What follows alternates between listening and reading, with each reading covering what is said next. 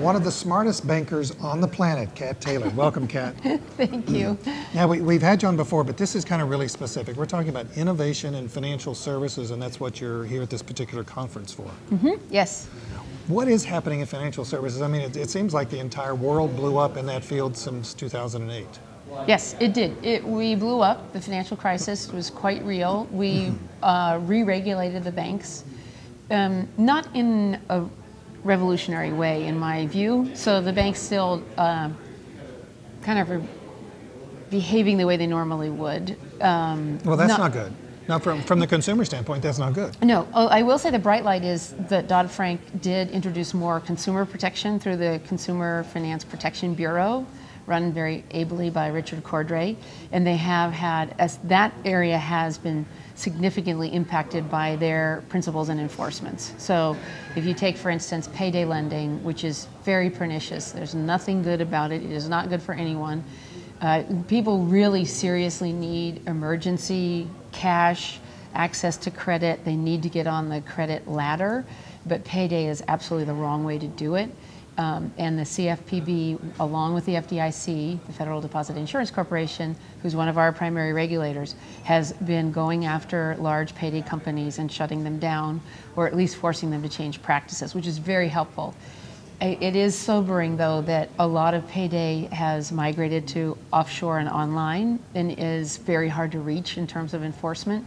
And we're past the flexion point where uh, the majority of payday borrowing is in those locuses that are outside of our reach. Mm. So, really, we have to combat payday through smart innovation, which is the subject of today. And, uh, and that's what I was trying to make my remarks about, which is what parts of banking as we know it will have to stay the same, can't be disintermediated, in other words, and what is the enormous opportunity to disintermediate everything else to take advantage of the internet, the network effect, and smart technology platforms, including machine learning? Well, from, from my standpoint as a consumer, the only changes that I've seen in banking since 2008 to me is just that there's been more computerization and I, I do less and less. In fact, I write less than 10 checks a year. Right.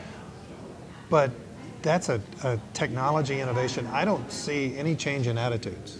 Yeah. So so fair point. So, um, and that's what we're we're trying to create a model that um, treats banking with the respect that it deserves, and more importantly, treats depositors with the respect that they deserve. So here's the way banking should work, in my view. Banking is the first form of crowdfunding.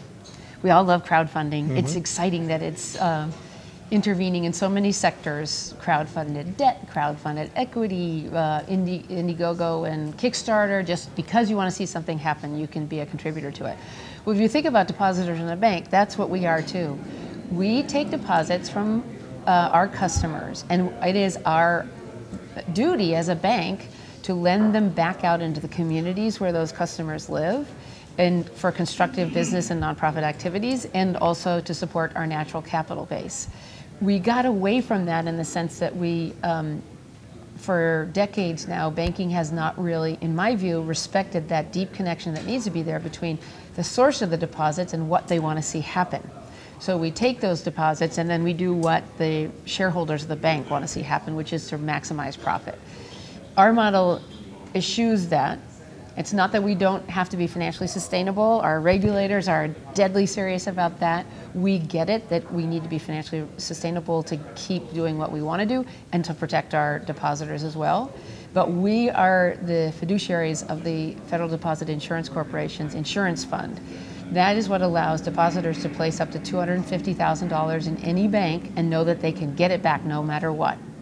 The FDIC has to make sure that banks are acting in a way um, that uh, doesn't jeopardize the insurance by taking too much risk. The banks were taking too much risk up to the financial crisis, and that's what we saw was a crash. Um, and by the way, at the, on the eve of the financial crisis, financial services represented 25% of gross domestic product. 25% of the economy was financial services. Really? And remember, and I say this, I'm not trying to be uh, disrespectful of, of us as bankers, but we don't do anything. We just provide finance so others can do something. So 25%, if that's kind of a finance charge, that's too much. Yeah. but anyway, um, the banks um, were also taking more risk, and that's what the re-regulation regulation through Dodd Frank was trying to address. The bank should have a risk profile that is uh, consonant with the depositor's ability to be guaranteed up to $250,000 of deposit funding that they get back when they, whenever they want it. So that's our deep commitment is to respect the FDIC insurance fund and the wishes of the depositors, which are surely to fund constructive activities that lead to healthy, resilient communities um, reliant upon a natural capital base that's whole and hardy and going to let us be on this planet forever. In the face of climate, you know, imminent climate disaster and income disparity like we've never seen before, clearly our, we, we as banks are not doing a good enough job of getting that deposit funding to solution sets for those problems. But as the head of a bank, you have to be a bit of an economist for sure, and maybe a lot of an economist. Um, income disparity is, is not good for banking, is it? I don't think so. I think we're destroying bank customers every decade that goes by. Payday does that, um, but also income disparity means increasingly large segments of the population really cannot participate in the financial system. They don't qualify for a checking account, they can't get access to credit, um, they get uh, given financial services that are more expensive to use. Um, it, I, I, agree with you. I think it's foolhardy to think that we can't that we can have a healthy economy without um, a, uh, financial inclusion and financial resiliency, and it has to do with you know wages, but also with financial practices. But people in power don't give up their power easily, right. and uh, bankers have had their system and have had it their way for an awful long time. You're yeah. talking about essentially revolutions in the approach to banking. I hope so. Um, we're going to be aided, aided and abetted by the technology entrepreneurial community that's doing that at a very rapid pace. Um, Dodd Frank notwithstanding, there probably could have been a more revolutionary re regulation of the banks. Um, it's maybe simpler too, because I think Dodd Frank is like 1,500 pages of law and 150,000 pages of rulemaking or some, something on that proportion. It's a massively complex legislative agenda. Um, thank goodness that we got some re-regulation, but it probably would have been better to do something simple like, and we had these four rules we were holding out for. Maybe they were complete fantasy, but um, don't let banks get too big. Cap the size of a bank if you get if you approach it in yes, other words, that was fantasy. That was fantasy. but if you think about it, the getting too big creates system risk. So we can identify uh, what's not too big to create system risk and keep all the banks below that, make them have living wills so that they dismember before they exceed that. It's important to the fourth rule. So that's for, no, rule number one. Rule number two is put back in something like the Volcker rule, which prohibited banks from taking um, equity style risk in uh, securities markets. Mm. Don't let them do that uh, have them all have a high capital buffer. We have a 10% tier one capital requirement in our mm-hmm. bank. Uh, we would like it to be lower. We, you know, it would be easier for us to be financially sustainable if, if it were lower. But if you have a reasonably high capital buffer, there's just more resiliency for the economic cycles for each bank. Mm-hmm. And then the last thing is let them fail. Never bail out another bank again, ever, ever, ever. You don't need to. If they don't create systems risk, you don't need to if they aren't taking as much risk, it won't happen as often. Uh, if they have a buffer, it won't happen happen as often. And if you don't bail them out, then that um, brings discipline to the shareholder population because they realize they could lose their equity investment if the, they allow the bank to act in too risky a way.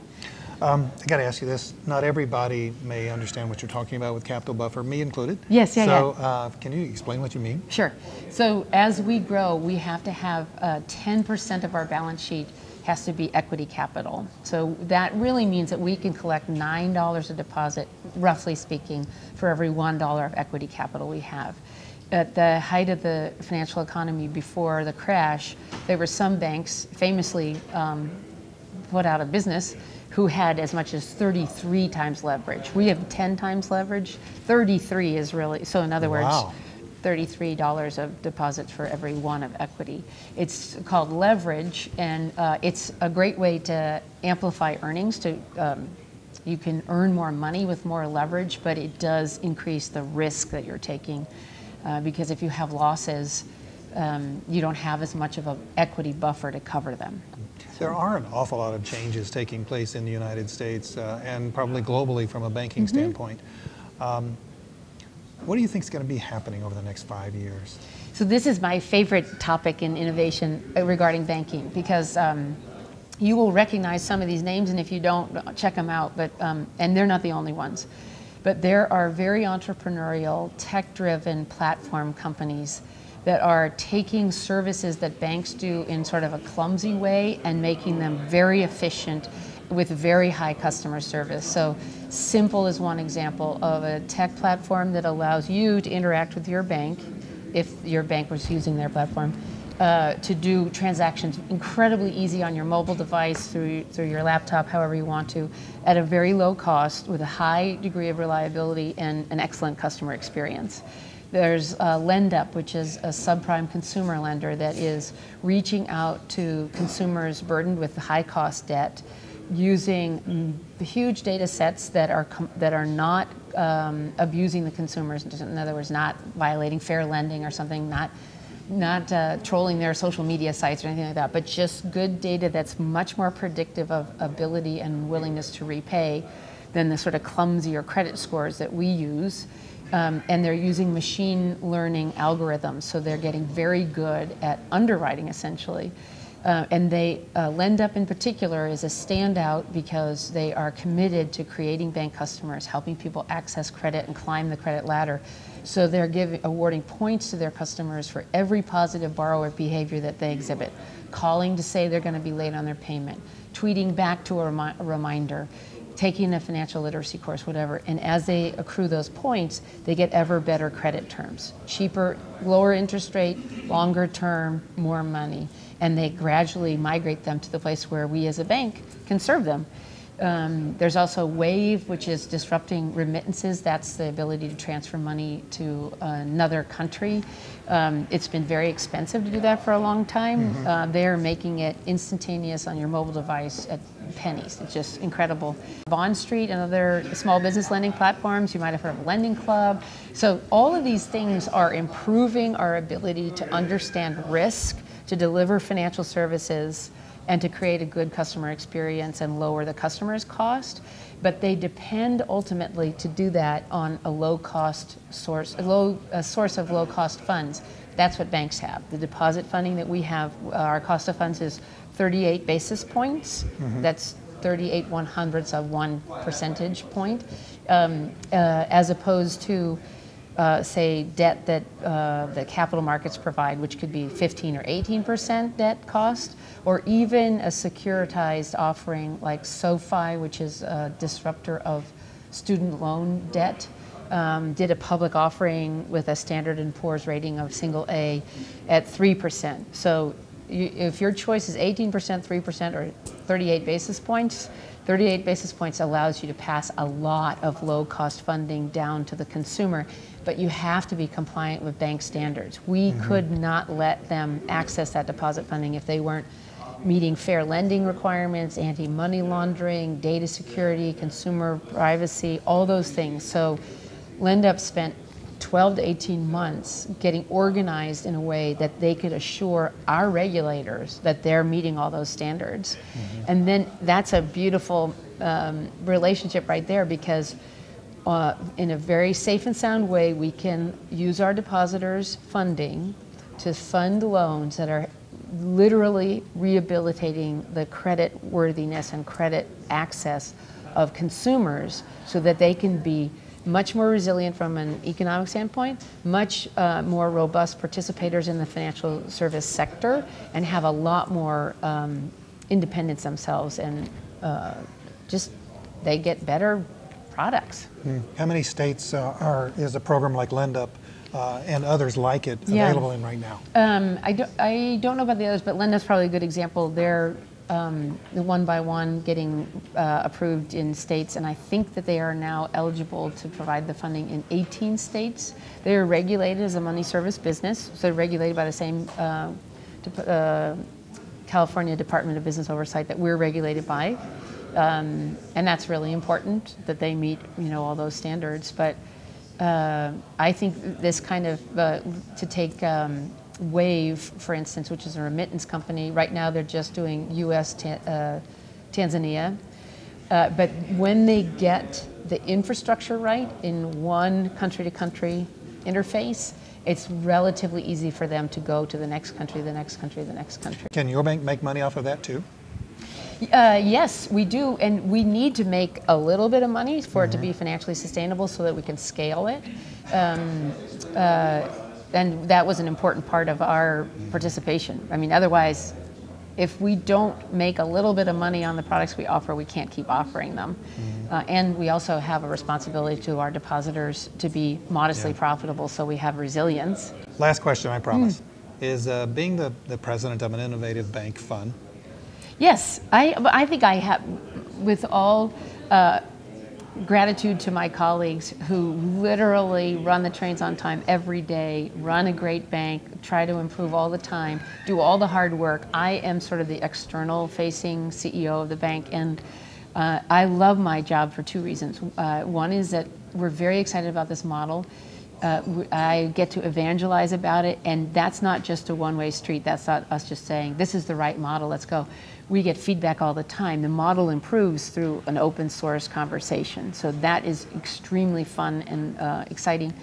And then um, banking, you know, for all that I said, we don't actually do anything. We know a little bit about a lot of things because we work with every kind of company and nonprofit you can imagine. And in order to uh, do a good job of meeting their needs and meeting our underwriting requirements, we have to understand their businesses and their nonprofit models. So uh, we get to learn a huge amount about all sectors of the economy and all sorts of uh, constructive things that people are trying to get done. Kat Taylor, thank you for being with us. Sure, thank you very much. Rainmaker believes we can change the world.